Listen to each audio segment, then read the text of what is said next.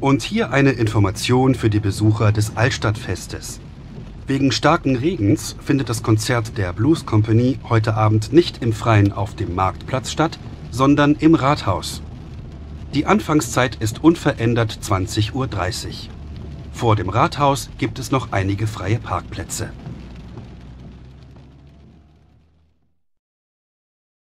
In unserer Sendung Neues aus der Arbeitswelt sprechen wir heute mit Frau Naumann, die einen ganz neuen Beruf gefunden hat.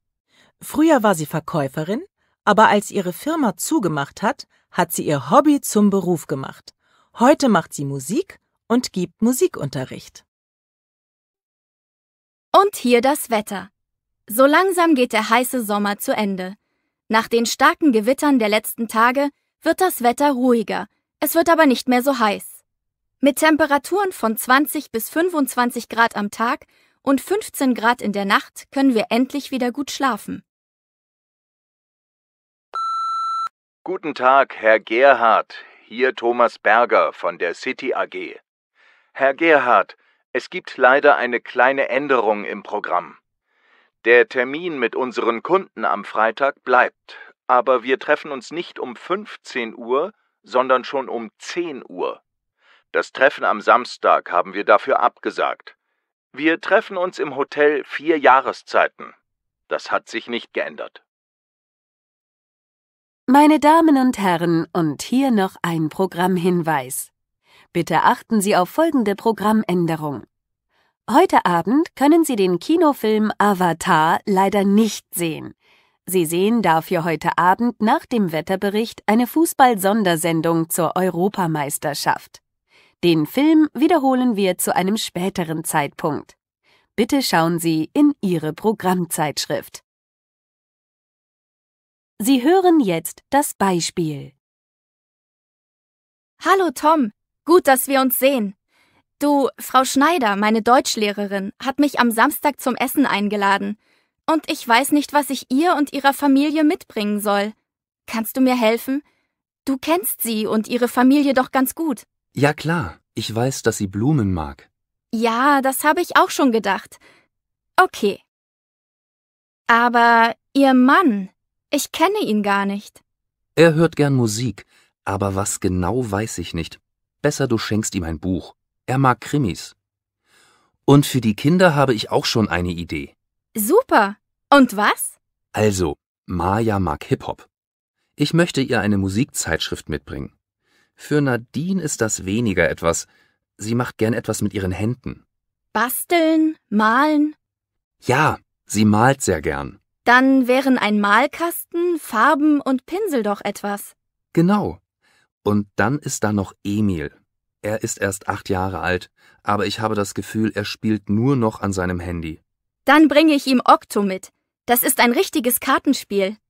Okay, habe ich jemanden vergessen? Oma Susanne. Für sie ist es nicht schwierig. Sie liebt Kuchen und Torten, macht sie aber immer selbst. Dafür braucht sie zum Beispiel richtig gute Schokolade. Was hast du am Samstag gemacht, Kevin? Ich wollte zuerst ins Schwimmbad und dort in Ruhe ein Buch lesen, aber dort war es zu voll. Dann habe ich mit meiner Freundin einen Ausflug mit dem Fahrrad gemacht. Das war auch super. Schwimmen gehen kann ich nächste Woche. Das Wetter soll ja schön bleiben. Lesen Sie jetzt Aufgabe 12. Guten Tag, ich möchte gern Schuhe kaufen. Hier im zweiten Stock gibt es doch Kleidung? Ja, aber keine Schuhe. Die finden Sie einen Stock tiefer. Und Sportschuhe? Für Sportschuhe müssen Sie ins Erdgeschoss. Habt ihr ein Glück. Tolles Wetter und morgen fahrt ihr weg.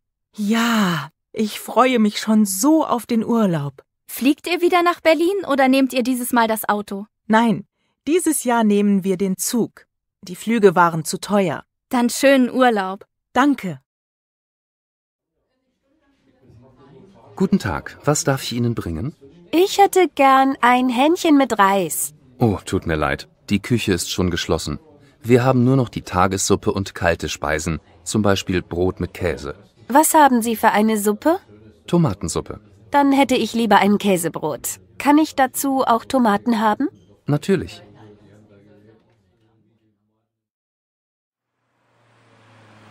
Hallo Jens, die Sprachschule ist umgezogen. Weißt du das schon? Nein. Wo ist sie jetzt? Neben dem Supermarkt in der Kaiserstraße. Und wo genau? Zwischen dem Supermarkt und der Apotheke.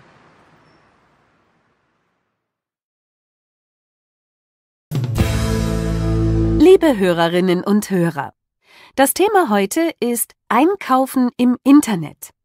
Markus, erzähl mal, kaufst du viel im Internet ein? Ja, immer mehr. Früher habe ich das nicht gemacht, da war ich sehr vorsichtig. Aber jetzt mache ich das öfter. Und was kaufst du alles? Kleider, Schuhe, CDs, Bücher. Man hat keinen Stress. Man kann von zu Hause aus bestellen, muss nicht in die Stadt, in volle Kaufhäuser gehen und stundenlang an der Kasse warten. Markus, du hast am Anfang gesagt, dass du früher sehr vorsichtig warst. Was meinst du damit? Na ja, man muss natürlich beim Interneteinkauf vorsichtig sein. Wo kaufe ich ein? Was ist das für eine Firma? Wie kann ich bezahlen? Bekomme ich eine Rechnung oder muss ich sofort Geld überweisen? Hast du hier schon schlechte Erfahrungen gemacht? Ja, einmal habe ich Schuhe gekauft, bezahlt, die Schuhe sind nicht gekommen und das Geld war weg. Ich habe mein Geld ins Ausland überwiesen. Da konnte ich nichts mehr machen. Hier habe ich zu schnell bestellt, auch weil die Schuhe sehr billig waren. Gibt es auch Sachen, die du nicht im Internet kaufst? Natürlich. Im Internet sollte man nur kaufen, wenn man genau weiß, was man will. Wenn ich eine Beratung brauche, zum Beispiel ein neues Handy möchte oder einen neuen Computer, gehe ich ins Fachgeschäft. Die Sachen sind dann natürlich teurer, aber man kennt den Verkäufer und wenn etwas nicht in Ordnung ist, kann man die Sachen sofort zurückbringen. Das ist im Internet nicht so einfach.